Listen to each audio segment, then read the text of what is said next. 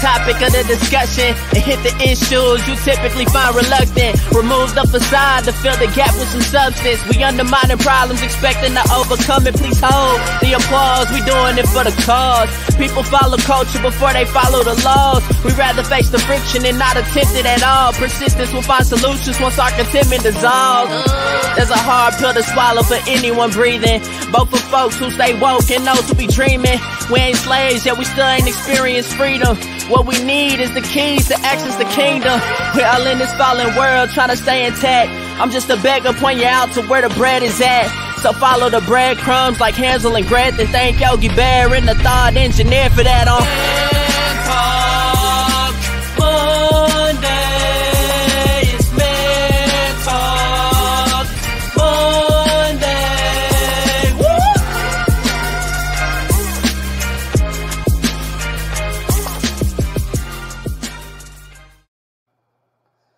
Talk Mondays back once again, ladies and gentlemen.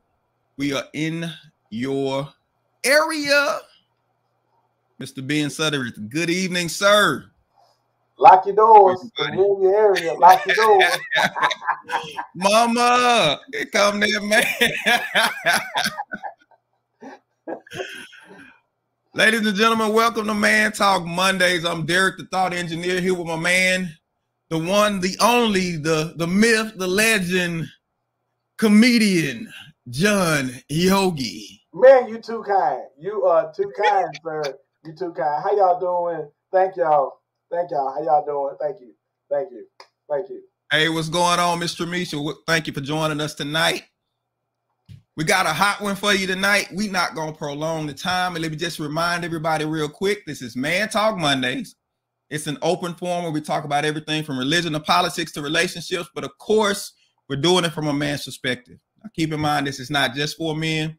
We want everybody to join in, participate in the conversation. Men, women, boys, and girls, children of all ages, you're welcome.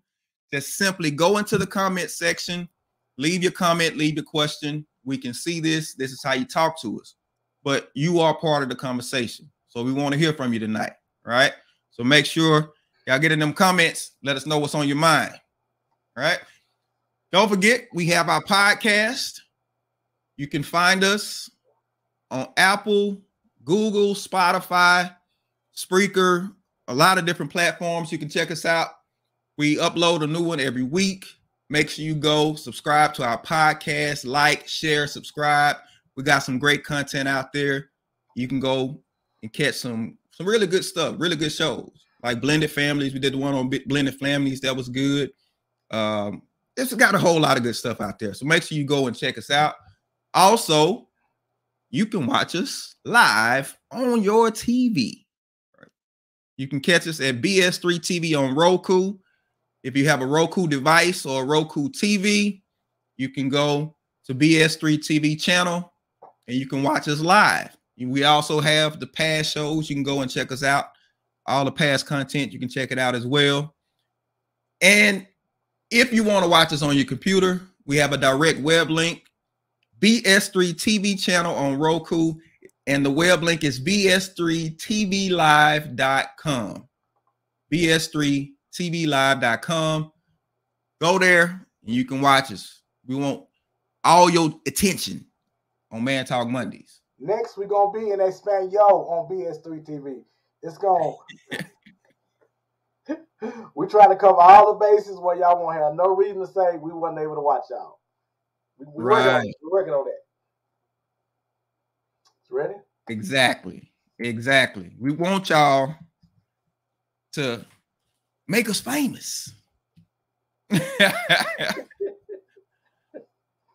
Ladies and gentlemen, like I said, we don't want to waste the time tonight. We want to get right into this.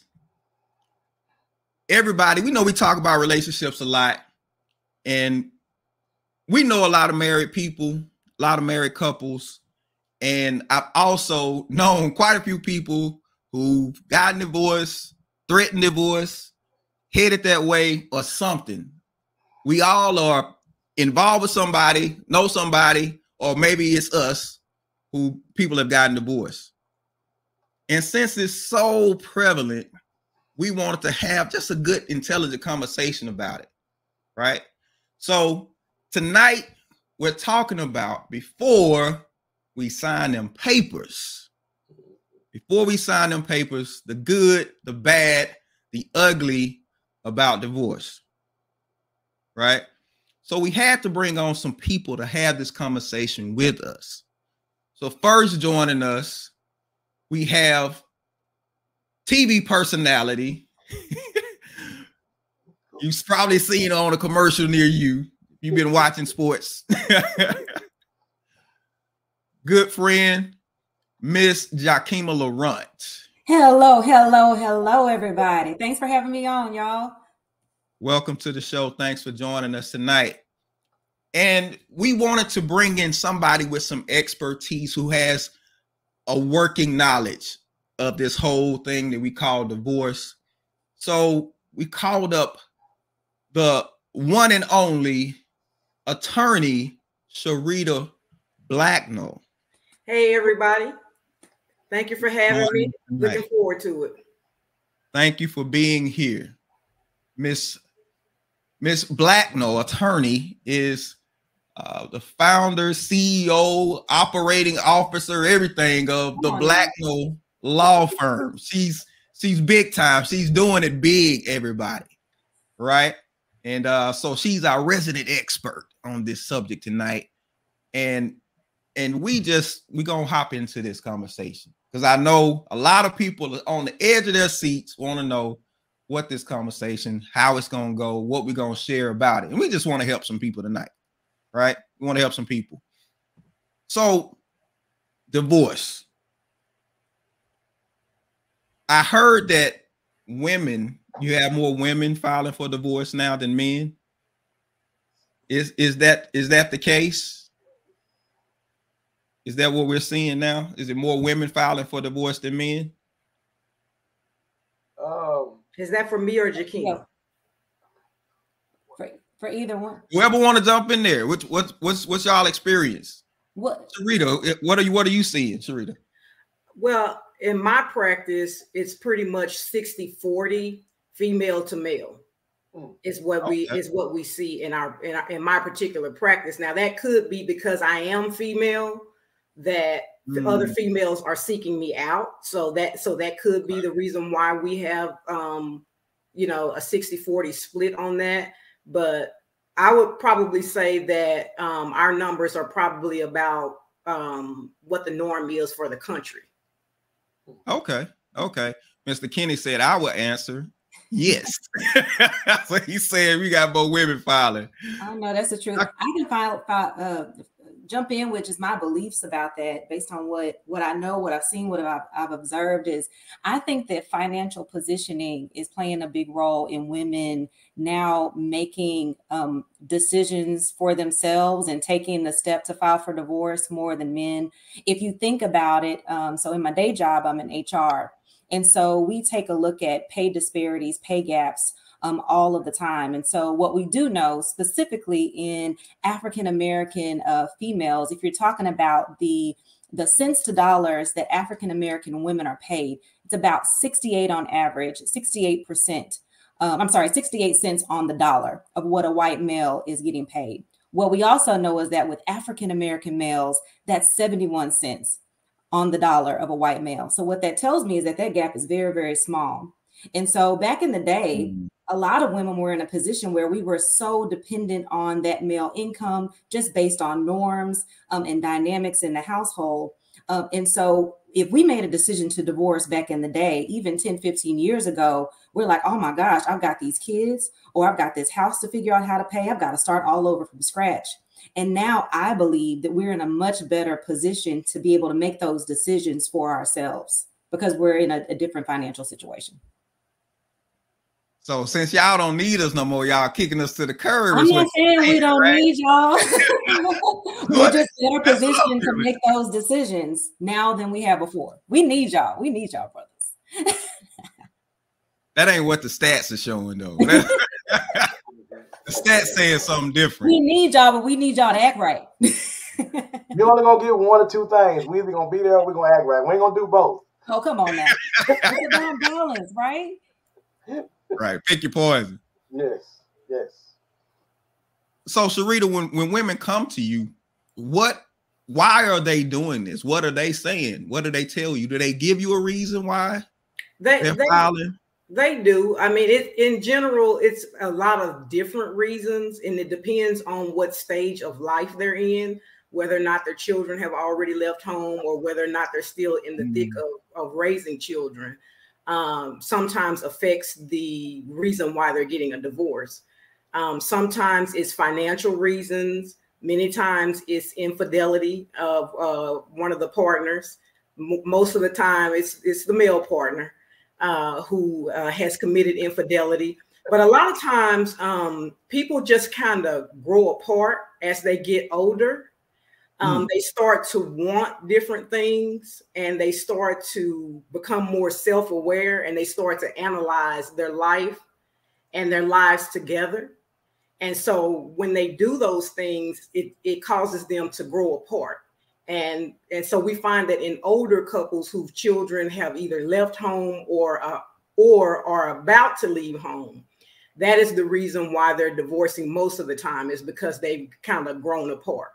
Um, the children are no longer the biggest part of what their life is, and so now they're sitting back and saying, "Okay, what do I really want to do with my life? And is what I really want to do with my life does it include this person that I've been married to all this time? Yeah. now when younger people come to us and they want to get divorced I would say if they're in their early 30s uh, and they want to get a divorce uh, a lot of times it's because they don't feel that the other person is pulling their weight in the relationship and they're tired of carrying most of the weight of the relationship and that typically happens when people have young children um, in their mm-hmm. home um, because there's a lot going on. As you guys know, when you have young children in your home, we got extracurricular activities to get kids to, we have school to get kids to. There's still cleaning that needs to be done, hair that needs to be washed, dinners that need to be cooked, laundry, you know, groceries, all of the typical things that, that, that need to be done, plus work, plus work. And then at the end of the day, we still have to be romantic after we've done, you know, all of those those other things. And so when people, when people are in their early 30s, when people are in their early 30s, they start saying, I'm tired and I don't know if I can continue this on for another, you know, 30 or 40 years. And so your grandmama did it, your grandmama did it, her grandmama did it. I don't want to hear no excuses. Oh no. If you come from work, you put your bread down, you get in that kitchen, you cook no. something and then wait for me once I get done. Oh no. I don't want to hear about I don't want to hear it. Listen, and I, and I bet you it's the it's the uh at that particular it's the men complaining, right? Most no, no, no, sir. These millennial women are not our grandmothers. So no. They are not going to do all of those things and be content with it, you know. And so um and a lot of times I think it's it's because they really didn't have these real conversations before they actually got married. Like these are, that these are conversations that that people need to have before they actually get married. Uh, the, what is the division uh, going to be of you know household responsibilities once we have children. Uh, what what are, what are those responsibilities going to be, and what are we both expecting? You know, out of this, uh, we need to be thinking about that before totally we actually get married, and a lot of people don't do that. See, because we such in a hurry try to run to that bed that those conversations get skipped, and then so right. now you know base the relationship on what we do in the bed. Now we start having kids and how we gonna raise the kids, what are we gonna believe in, all that stuff goes to the side, and you learning that stuff on the fly. And that kind of stuff kills relationships faster than anything does. And John, John, I don't think it's only the bed. I just think that we fantasize and we're we're groomed to fantasize about this ideal of marriage. So the majority of the time you're sitting here on dates with this person or you're Netflixing. Yes, you may be chilling, but you're Netflixing with this person. You're spending time with this person. Y'all are talking about, oh my gosh, when we get married, we're gonna run this business and we're gonna do this thing, we're gonna do that thing but you don't handle the matters that are truly going to make an impact on that relationship when you get in it. We don't have a conversation with us when we get married. How do you parent? Do you spank your kids? Do you not spank your kids? How do you handle your finances? Right? Do you expect when you get married for us to have a joint account or a separate account? And so, because we're not on the same page and having those kind of conversations, either through counseling or shoot, they got books that give you questions to ask each other whenever you're dating. If you don't use resources tool through people or you know books and things like that that are available, if your conversation isn't that way, and if your conversation isn't in the future, and you're just dreaming about the future together, then I think there's a big disconnect. Being being said, conversations of expectations is a must. I think people are afraid to have those conversations because if we have those conversations, we probably ain't gonna end up together. And so my fear of being alone is greater than my fear of having this conversation. So we don't talk. But once you get in there, now it's too late. Yeah. And you don't set the right expect. Who who are these sorry dudes that these women marrying anyway that ain't chipping out or helping out? I don't I don't know men that don't that do that. You would be so you know surprised. I, I married one.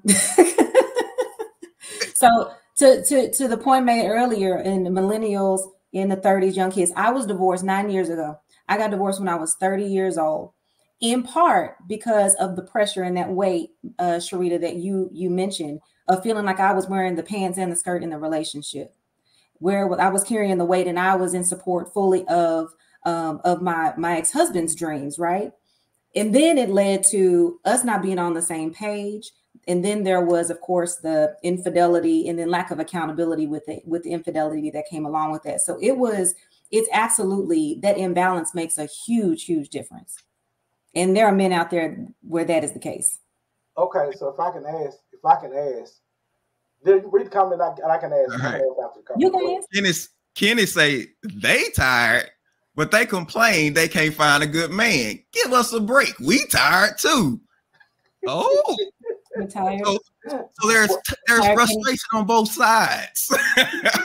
why do we miss this? What you saying, John? Well, I think one of the reasons why we both tired is because nobody wants to give anything.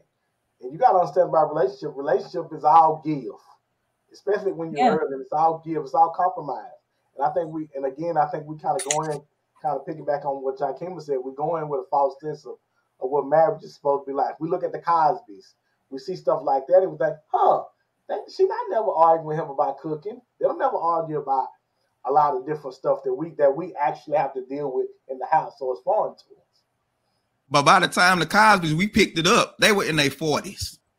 Yes. They they were in their forties. They had got past the foolishness. Right. You should have should have picked him up in law school and all this. When they was in law school, he was in medical school. They should have picked him up from there, and we would have saw what kind of foolishness went on at the time. Yes, I think you in your thirties and you tired. What what kind of craziness? How, how you that young and tired already?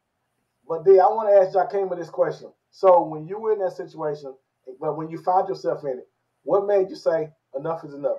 What made you say, you know what? Mm-hmm. I, I don't want, I can't do this no more. And did you have a divorce goal? Did you go in and saying, "This is what I want," or "I just want to be separated"? A divorce goal? What do you yeah, tell we'll, me more we'll about that? We'll, we'll, talk about that in a minute. Okay, so, okay, so I'll answer your first question. I'll, t- I'll answer your first question. Um, so what what was the straw that just, well, just I, can't, I, I, can't no more now. I can't. I can't. So listen, I've got a long story of my marriage, and that's gonna be in a book. I think I'm gonna title it "Why I Failed My Drug Test." But um, but, but I really think I've been thinking about this book. Um, so it may come out. Don't steal my title, y'all. Um, but really, what did it for me was it was a layering of things, and then it was not only the infidelity I could have come back from the infidelity. We fall down, we get up. It was the infidelity plus lack of accountability. It was the infidelity plus the gaslighting. It was my fault. Um, and, and it was really the abandonment that came after that that person was found out of their mess. It was like, we're not gonna deal with this, we're just gonna up and leave the household. So really, I I did everything that I could. Um, but what I do know for myself is that I wasn't I wasn't created to um, to go through emotional stress um, and and to to to be I just wasn't created for for that level of emotional stress and really um, just that level of emotional abuse is what I mean to say um, because there was a lot of that that was happening um, when there's the gaslighting that happens and a lack of accountability along with the action. Now, Wesley says when the marriage doesn't work, the blame is always on the man for some odd reason. Wesley, I'll put it like this, man. You ever we notice the person that gets react reacts always is one to get caught. Not the person that commits the offense, the one that reacts. We watch sports. We watch sports. The person who gets the penalty typically isn't the person who mm-hmm. initiated it. It's typically the person that reacted to what the other person did. Now, I know this ain't popular because what, but I don't think women pay attention to what they do to guys. I don't think they pay attention. And by the time a guy, because we we'll we'll hold it in, we won't say nothing, and then all of a sudden we start moving different and acting different. Now, if a guy just no good, he no good. But you got good guys that start going this way, and you gotta be you gotta be careful about it. She said, please clarify. You talking about me clarify? I I just know that you have good guys who start off good and yeah. things go bad. But I think that there is, I think when relationships goes bad, there is a lack of communication. Yes, you mentioned that. He's holding things inside. But then somewhere along the, the way, we lose that vulnerability that we have at the Derek watch stuff. Uh that vulnerability that we have when we first are starting off in our relationship. Like somewhere along the way, we just stop disclosing. And maybe that's because of how she reacted that one time I really shared my heart. And yes, we do have to be accountable and responsible for how we respond to whatever our husband or our spouse is bringing to us. But I think that somewhere along the way, there's a lack of transparency and communication. Uh, if I could just jump in right here, divorce goals, because I'm curious to hear what the what uh, Sharita is thinking yeah. about the conversation. Because I know she's sitting there very calm and collected, saying, I know in her head she said, "Oh, okay, what y'all saying? That ain't how it is." I'm curious to see and to hear what she thinks about the conversation. Let, let me say this real quick because we had kind of had a conversation with Sharita before, and when she said this, it blew my mind. So I want her to talk about the divorce goals. What is that about? So divorce goals is something that we, when people come to us, I let them tell me what their story is, the reason why they're talking to me, the reason why they're considering, you know, getting a divorce or whatever.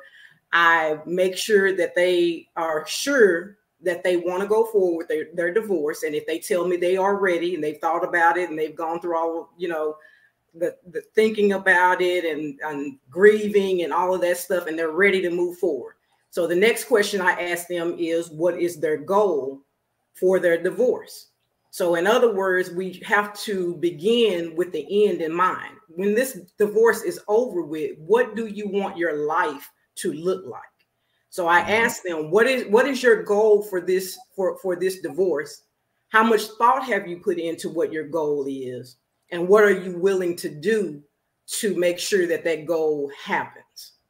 And so many times people, when they come to us, they haven't even thought that far they haven't even thought mm-hmm. about what their goal is uh, in their divorce. They haven't put any thought into it. They don't know what they are willing willing to do. All they know is that they that that they want to be divorced. When you say, "What are you willing to do to make that happen?" What exactly do that mean? I know what it sounds like. What are you willing to give up? Is what it sounds like. Tell well, me. go ahead. Well, it means um, different things depending upon which aspect of their divorce we're talking about. So, for instance, I'll give you an example. Sometimes people come to us and they say, uh, I want one week on and one week off of visitation with my children. It's usually the male, it's usually the husband who comes in and says, Look, I don't want to be a weekend dad. I want to have one week with my children and I want them to go to their mom's house the next week. So I said, okay, great. That's a that that's a great goal for you to have. I so I so I said, but where are you where are you currently living? They may say, oh well, I live in Carrollton. And I said, well, where are the children living with the mother? Oh, the mother's living in Mesquite. So now we have to think about how are the children on your week going to get from Mesquite mm. to Carrollton Monday through mm. Saturday, to school, to extracurricular activities, how are you going to get them there? You know, during your during your during your time. If they're if they are in school in Mesquite and you live in Carrollton, how are you going to get from how are you going to get them from Carrollton in the mornings all the way to Mesquite to get to school in the morning or whatever their extracurricular activity? So that's what I mean by what are you what are mm. you willing what are you willing to do? Are you willing to move closer to where the children are? Mm-hmm. Are you willing to say that the children are going to be here one week and there one week as long as we're living within a certain geographic area? What exactly are you willing to do to make that happen? Or let's say that I have a the wife comes to me and she says, "I want to keep the house." My goal is that I want want to to keep this house. Okay, you want to keep the house. So, what are you willing to do in order to be able to keep the house?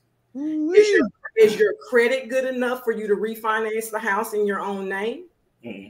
Are you able to refinance the house using your own income? Um, are you are you able to pay the mortgage on the house and all the other things that come along with the mortgage if, if you want to keep the house? So that's what I mean by it's one thing for you to have these goals, but the logistics of the goals need to be thought out. And you need to be able to articulate what are you willing to do in order to make that goal happen. So Dr. Selena says, what happens when someone's goals do not align with what you witnessed in the past with different couples?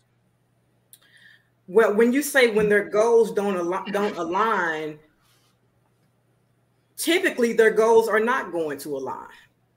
Mm. Typically, the, that's the reason why why they are getting a divorce in the first place. the goals are, are not aligned. So what happens when their goals aren't aligned? We start out from the position of trying to get couples to come to some kind of an agreement about the areas of their lives that are going to overlap once the divorce happens. Because certain aspects of their lives, if they have children, are going to overlap. So we try to get them to come to some kind of an agreement about what are you guys going to do about these aspects that overlap with one another. If we're unable to get them to come to an agreement, then we have to go to we have to end up going to court and letting the judge make a decision on what should happen with that person's goal right because and that's what the judges get paid to do is to settle those disputes they're the umpires they call the balls, they call the strikes. They get to, to try and decide, okay, you have this goal and you have this goal. And the judge is saying, well, my goal is to make sure that we're doing what's in the best interest of the, of the child in this, yeah. in this situation. That's what the judge's goal is. Mm-hmm. The judge is going to try to is going to try to put all of those things together after hearing everything to make sure that the children are taken care of because the judge doesn't care about the grown people. The judge cares mm-hmm. about children that are uh, that are involved in the case. So, Mon- yeah, Monique says that's what I was going to ask. Will they align? Yeah. Now, now here's the funny thing. You couldn't compromise, so you get divorced, and you end yeah, up having to compromise. Yes. you yes. you're forced to compromise now. Well, all of the logistics and everything. Now you forced to compromise again.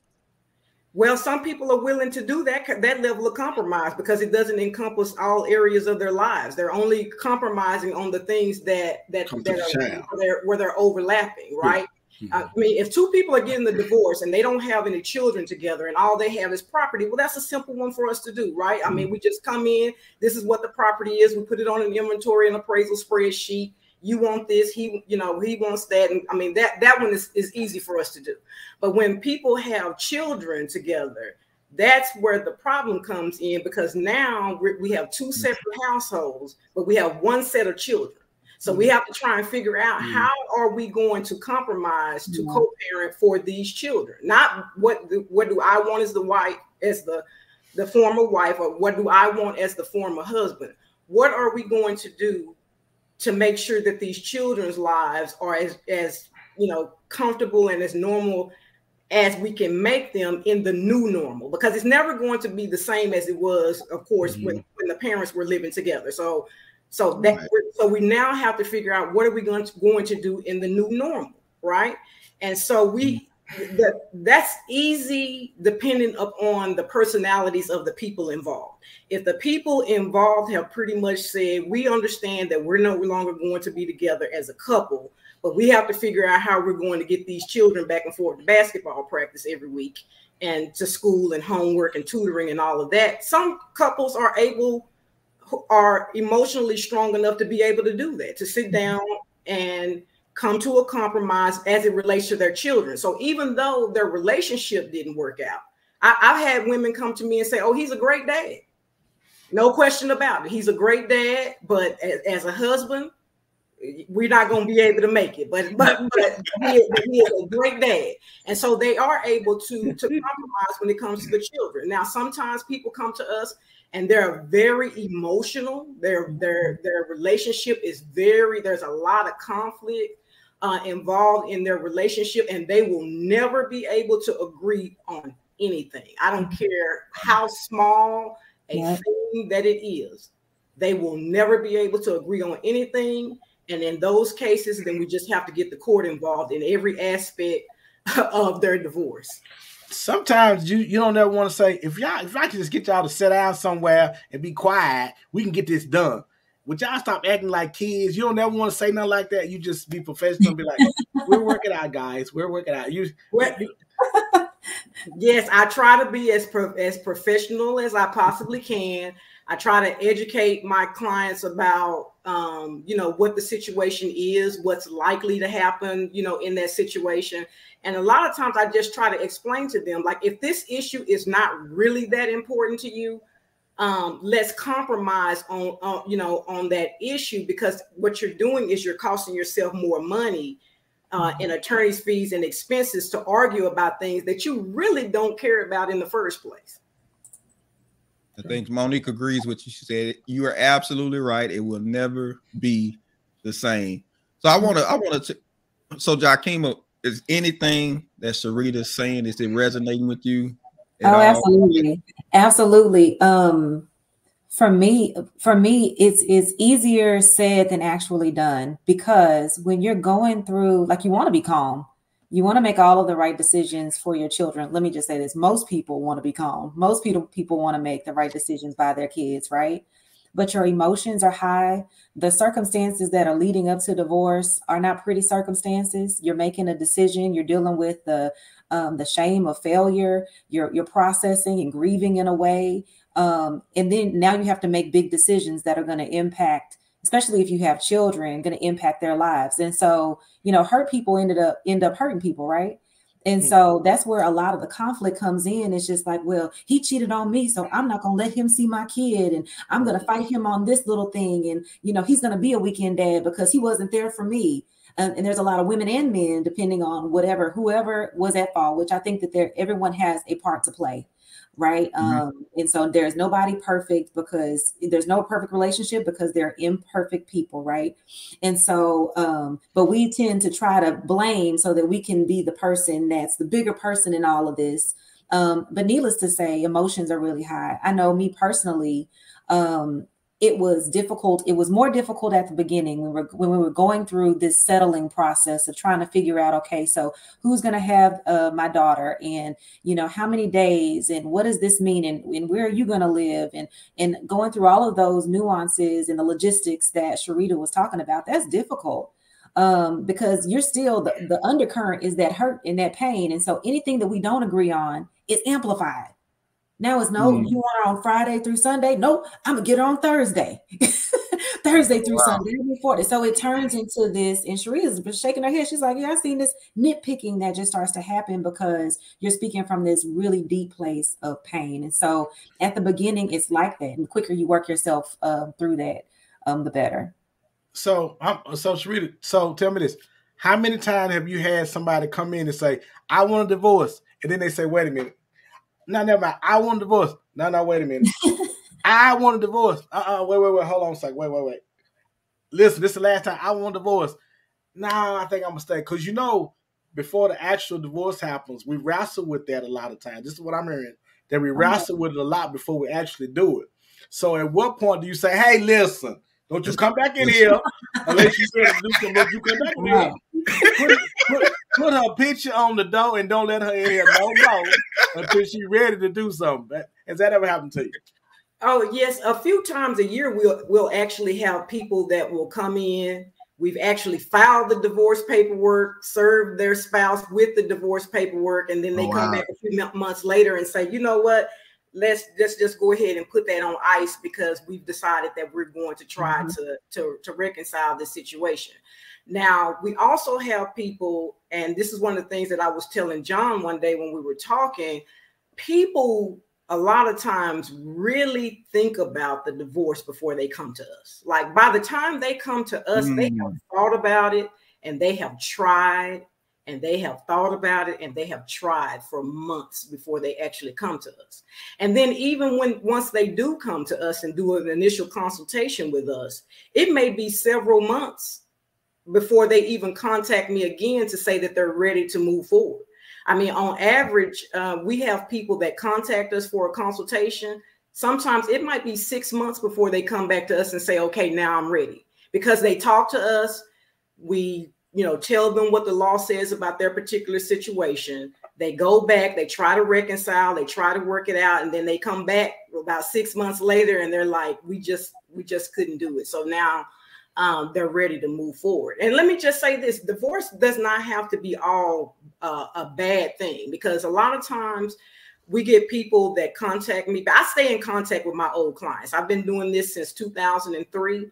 And I have clients that contact me by text message or they email me or they will call me to give me their testimony about how they and their ex-spouse how their relationship has evolved and how they are now able to talk to one another and they're now getting along so i get those kind of uh, messages you know several times a year from from old clients saying we i mean th- th- that divorce was probably the best thing that happened to us mm-hmm. oh, I was, I was, I thought maybe you was keeping in touch for repeat business. That's what I thought. like, yeah, you probably gonna need me again. So keep my number. Keep my number no, I, no, I just, I just keep your own. I keep in touch with them. You know, they tell me, you know, what's going on with their children mm-hmm. and you know their relation, you know, their relationship with their ex spouse. Anybody that would get back married to anybody that would say, "Girl, you know what?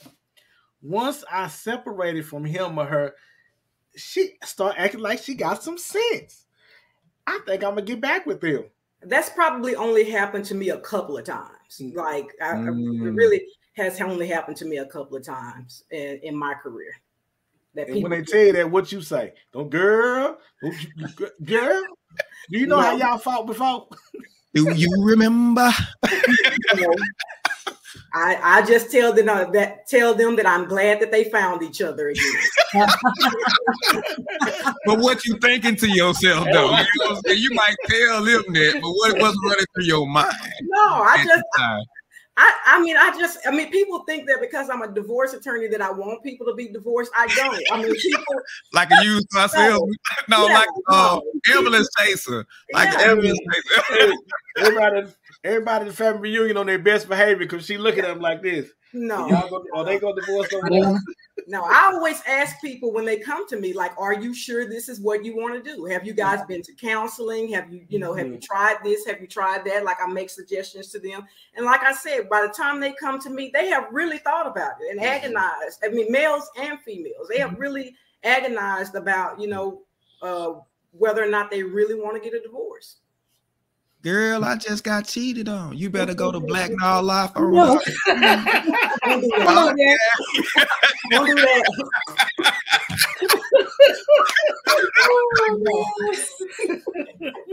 so so I want to, I want to I want to I want to go back to something real quick because when you talk about divorce goals, when when people start defining what the win is. Mm-hmm. Somebody comes in, they like, I want them to hurt. I don't want them to have nothing. Yeah. I want to get everything out of them. Yeah. How how ugly, how how much of the the hidden stuff comes out in the effort for people to win? How public do they put the mess mm-hmm. in order to win?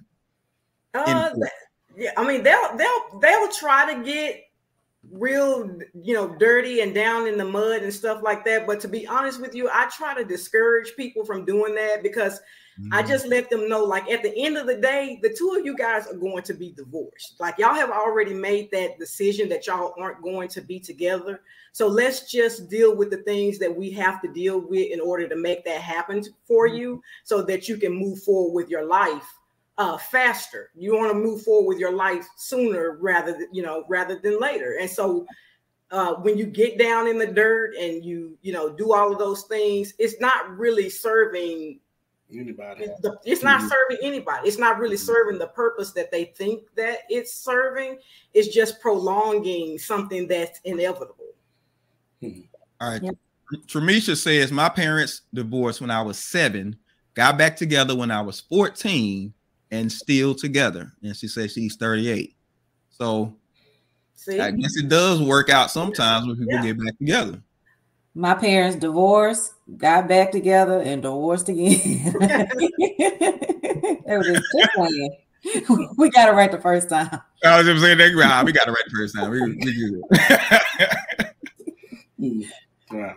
Wow. I don't know. I, I just because when you look at the whole mess of it.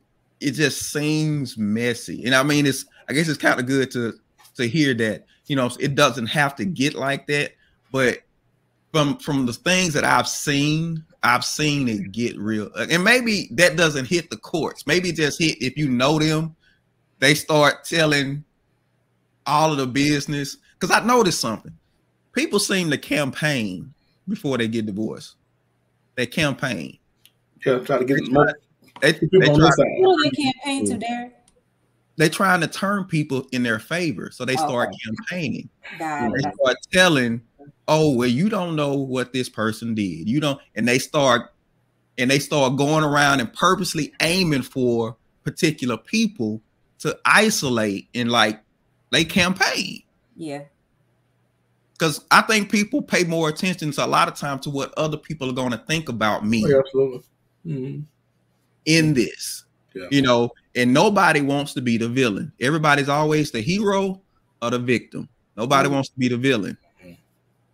So, in, in order not to pass on the villain perception, I got to campaign and make myself either the victim or the hero. Typically, it's going to be the victim, though.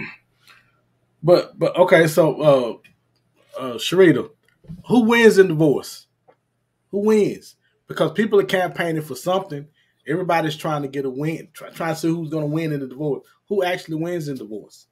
I, I, always say that there really is no winner, right? Like nobody really wins. Like who wants their family like to be torn apart? Like nobody really wants that. And so what we try to do is try to get people and like in the beginning of a divorce, everything is really heated. Like everybody is real, real, real heated and emotional. We try to help people get past that point so we can get down to the business of getting the divorce, you know, done and, and taken care of so that they can move forward with their life. But there really is no no winner, you know, because everybody's going to have to compromise something. Nobody nobody in a mm-hmm. divorce is going to get every single thing that they want. Like no nobody is. Um, and so um, everybody's going to have to compromise, right? Because you're taking what was one life that you guys were sharing together and now we have to separate those those lives. And so there's got to be compromise on both sides. Yeah it's an l everywhere around. Mm-hmm. your kids lose you lose your your your spouse loses. Um you you just have to take the l. There's really not a there's not a win in it. I mean if you you want to say some kind of win is what you hopefully have walked away and learned um, about yourself, what you need to do differently um, in next relationships. Um, learn learn how people are in unfortunately some cases, and how the ugly can come out of people um, that you just don't expect to come out of them. But you really just you don't win. In the comments, Charlene Berry says she agrees. Nobody wins. No, she agrees. Can Tina Turner won. Tina Turner won. Sometimes it's a win. yeah. Monique says no, no one. I always say most people do mm. not marry just to divorce. Wesley says some people shouldn't have gotten married in the first place, which is true. Queen Three and King says they think they win, but it's only in the court of public opinion. Mm-hmm. Uh, the court of public opinion, which has recently become more important than even the legal courts to most people. It's how you're perceived mm-hmm. in the mm-hmm. whole deal, which is why I say people they'll they'll campaign. They see themselves going that way, they start campaigning. I can kind of see it when they start angling. Yeah, I start seeing the campaign. Now, uh, uh, Sharita, you may not know the answers, but I'm gonna ask: okay. Who gets the friends in the divorce? Do oh, she have to stop? Do she have to stop being? I don't want her talking to my friends no more, and she don't want me talking to her. Is that because because because people have to make a decision on whether or not they're gonna still be cool with you because you're not with their friends. So who actually who get the friends? Now I think I saw that y'all did a, a show on this once before in the past. We did. same on this same question. I see. Uh-huh. You, you, remember something I didn't remember. Yeah, yeah we did. We so did. I'm, so I'm going to say who gets to keep the friends is the person who brought the friend in in Come the on. first place. Yep. So whoever whoever brought that friend gets usually gets to keep that friend. Huh. What if well, what if your friend was wrong? what if you like the per- other person? you realize your friend was a fool. Why don't you let the friend choose? Yeah. Because well, I've seen I've seen it happen before, uh, where there was everybody knew the husband through the wife, but once everybody got to know the husband, everybody tend to like him a lot more than they did her.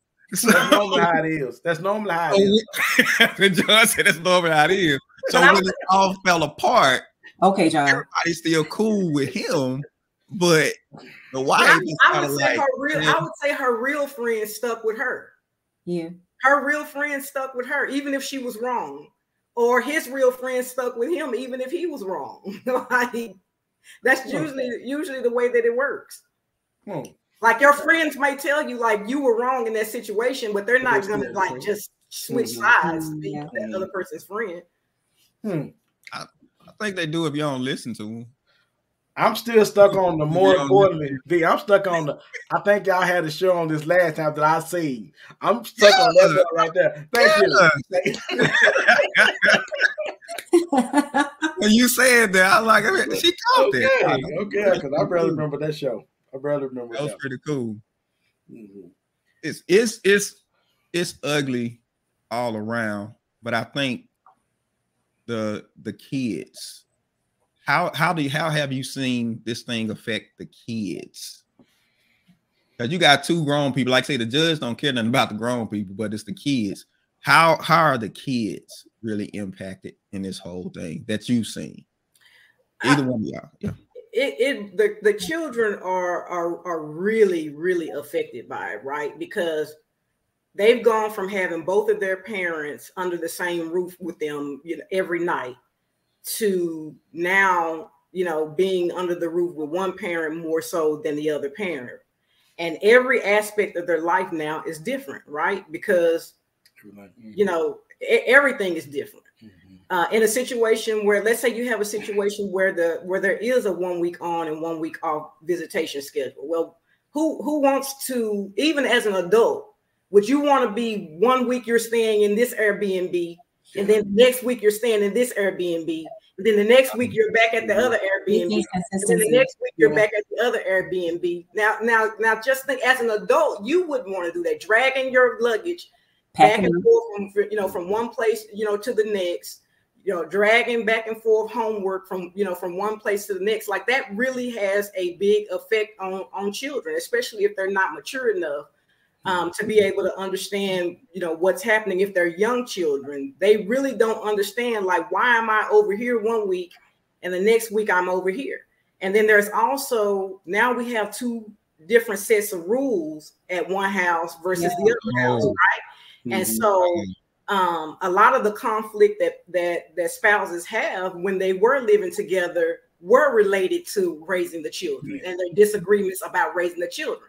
So now that the households have been separated, yeah. the wife now the wife now says, or mom now says, well, now that that he's gone, now I can have my rules for the children, and then dad is saying, "Well, now that she's gone, I can have my rules for uh, my, my, rules for the children."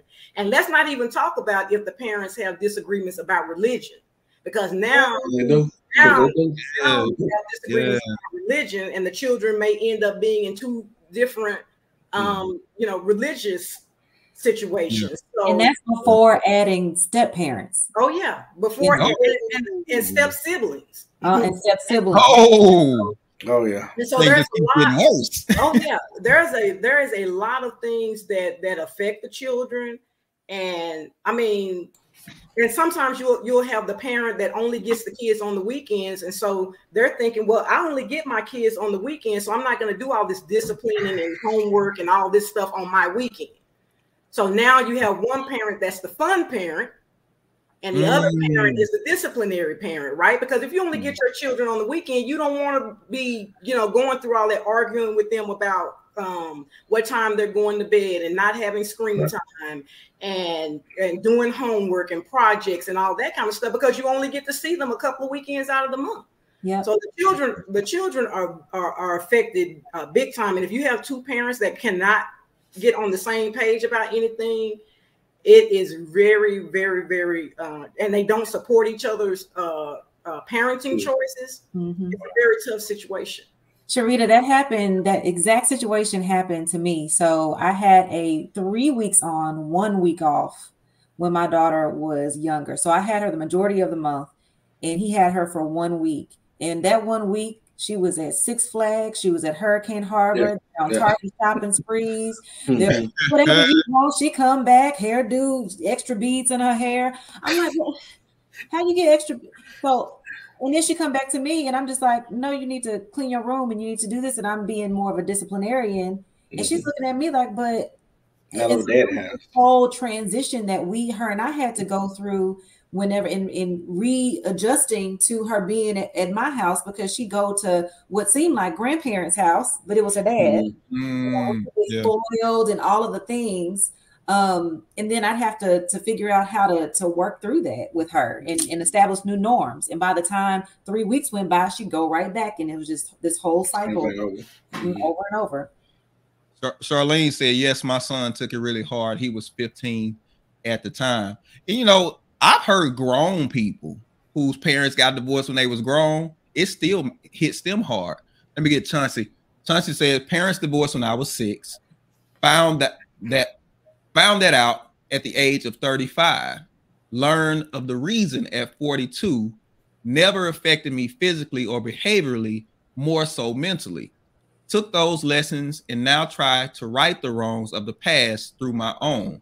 Many marriages have good potential to salvaged, but because of self, they go astray. Self will always be the biggest common denominator. I like what Chauncey said. He's right. He's absolutely right. So, would it be a good idea? To, well, because my uh, my mom dad divorced when we were five, and back then the divorce was my daddy said I'm gonna go to the store and get some cigarettes, and then I came back. that explains a lot, John. explains a lot. but but so so and, and still cry every time you see a pack of coolies. I'm sitting up here now to my. but I, but I'm simply saying, I, I don't think that parent. Well, I don't I don't want to say it because that may not be true, but I don't I don't think that we really understand the magnitude of of kids that's coming up one way and we completely change how they do midstream because we were five and I know my brothers we we well into our forties fifties, and and they still kind of struggle with that because I think they never, you know, we don't really talk about it like we should. But that's that's that's because again, and that's why the judge is like he is because it's not about you. It's not about you at all, and we make we try to make divorce all about us. But these days we have more tools to help children a little bit more to uh, to deal with these things and uh, to help the parents to learn how to uh, how to co-parent. They have a lot of co-parenting classes. There's family therapy. There's therapy for the children. So it's all in how the parents uh, deal with it. Um, they, it, you know, because it's more detrimental to the children to have you guys staying together or to have the couple staying together and just and arguing and fussing and yes, fighting yes, and doing yes. all that all you know all mm-hmm. the time. That's detrimental to the to the children as well. But if the parents handle it correctly and use the tools that are available to them, then you know they can kind of help the children along um, so that it won't be as bad. I'm not going to say it's not going to have any effect on them because it definitely is going to have an effect on them.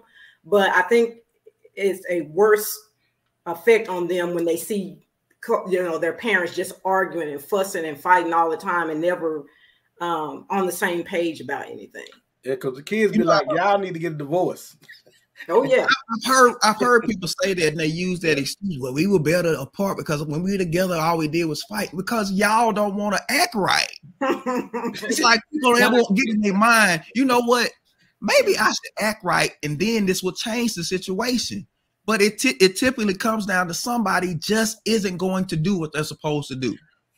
Somebody dig their heels in the ground and say, I'm not going to change. I'm not going to compromise. And this is what you got to deal with. And now people's like, well, we got to, we got to go our separate ways. And that's not mature. When you talk about marriage, marriage isn't a, it's all about coming together and figuring out where, where the compromises are. Mm-hmm. And people, anytime you dig your heels in the ground, I think people don't get behind why are you digging your heels in the ground so bad? Because there's typically something behind that that people are not exploring. Hmm. But oh, we well, we were we were doing up with fighting, and it was bad for the kids. It was bad for the kids that y'all wouldn't grow up and act right. I hate when people use that excuse. I'm like, come on, really? Well, you know, it's funny because most of the time we talk to divorced people, they always look back and say what they could have did better. To, mm-hmm. to, a, to a person, most people say, well, you know, man, I was acting kind of crazy. Or somebody said somebody has remorse about it. And I'm just curious if we can get right quick. Who had does anybody out there have divorce remorse questions? Anybody, right quick. We we run we getting long time before we get to but I'm just curious because most people that are divorced, well, if you ask them, they'll say, Well, you know, well, it was this, and I could have did more of that, or I could have did more of this. Uh Jakima. Yeah. Divorce remorse question, divorce remorse for you. Yeah, I think it goes back to dating. Um, so sometimes we see mm-hmm. God sends us red flags and we say, Oh, that looks like a carnival. No, it's not a carnival. Oh Lord, have mercy. Those are red flags. it's not fun there. Good things aren't there. So I think the discretion, using discretion, paying attention to what the Holy Spirit is saying to you, um, and, and acting on those things, acting on what is revealed to you is so important. Hmm. Hmm. Hmm. Okay. It's well, uh, Charlene said no, she was good. And she's saying that because I believe she told us last week her husband was running through the church and he was a pastor. So, hey, so it's good when you know a little bit about people. You can say, "Oh, that's why she said that." So, so she said she was good, but um, his prayer schedule was packed.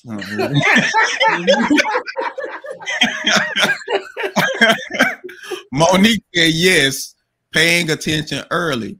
And I, I think this goes into I don't think I think people today are they don't know how to compromise or communicate. Because most kids that I've seen that are being raised today, nobody teaches them compromise. Everybody caters to them, so they never learn how to. I have to pull back so somebody else can can have. Well, you you don't learn that growing up. So now it, I gotta have, and if I can't have, can't nobody have. Everybody get trophy. Get this, the, right? You get in this and go. Everybody, you know what I'm mm-hmm. saying? You marry this, and that's already a problem. Yep. I could go on. Final thoughts, ladies and gentlemen. Final thoughts. Let's go with Miss Jakima. Uh, final thoughts. Um, like I said, check for those early flags. Guard your heart when you're dating. Um, and when you are married, fight for um, for the marriage and um, check yourself. Hold yourself accountable uh, because both of you play a role um, in the outcome. Those are my final thoughts. My final thoughts are that when you get a divorce, it is going to affect every aspect of your life. So be prepared for the new normal. Try to get through it as as fast as you can, compromise as much as you can, and that will help you to get to your new normal faster. Hmm. My and those are my final thoughts. My final thoughts are my final thoughts for this evening are, you know, I think the, the dating part is supposed to be. I think we make that the honeymoon part, and then we get to the rest of the marriage and everything else. But we have to start taking the dating aspect of it more serious, because what you don't say today may be said in divorce later. We really have to take this more serious because the guy that you with or the girl that you dated is going to parent your kids, and so we need to start asking more questions. We need to start being more thorough while we're dating, while we're still beginning to know each other. I think I don't want to put too much pressure on dating, but it's very serious because this could affect, this will probably affect the rest of your life. That's my final thought. Yeah.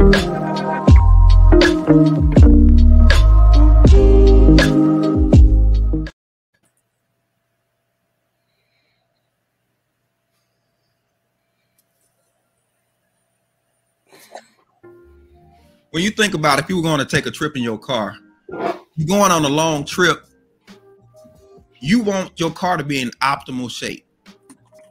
Well, let's say you blow out a tire and now you got to ride on a donut. Typically, you go you go get that tire service because that donut has limits and it will not run as well as the original tire. When we talk about divorce, we're taking families on a trip with a donut you may or may not get there. And if you get there, there's limits to what you can actually do. Are you cool with those limits? God designed this thing one way, He designed it to work the way He designed it. But if we start doing our own thing with it, we're trying to run it with parts that don't work for what God designed it for. So we can't expect it to work. When it all comes down to it, at some point, we just got to do it the way God said do it. His way brings success. Our way, we don't know what we're gonna get. And now society has to suffer because everybody wants to do their own thing and have things their own way. The thing about marriage, coming to, together as one, you're trying to blend a value system and come with, with a common value system. But people fight because of their values. And if you've never learned how to compromise with anybody at any time, chances are you're gonna get into this thing and want it your way, and it's not gonna happen. So you're gonna end up divorced. A lot of stuff can be avoided if we do it right on the front end. And that starts with just doing it God's way from the beginning. Try it. Think you'll find I'm right. And that's my final thoughts for this week. Yeah.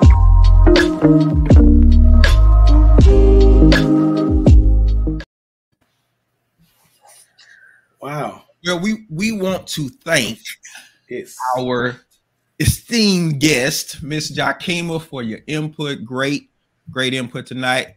And Miss Sharita laying, I mean, just laying it all out there.